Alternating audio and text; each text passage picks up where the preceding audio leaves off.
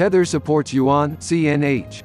According to the official press release, we are pleased to announce the addition of offshore Chinese yuan (CNH) to our basket of supported currencies and the launch of a new stablecoin (CNH). CNH represents a further expansion of Tether's capabilities in facilitating the digital use of traditional currencies such as US dollar, USDT, and Euro EURT. CNH is pegged to CNH and will initially be available only on the Ethereum blockchain as an ERC20 token. Follow the development of the blockchain world with us. The news release partner Stex.com.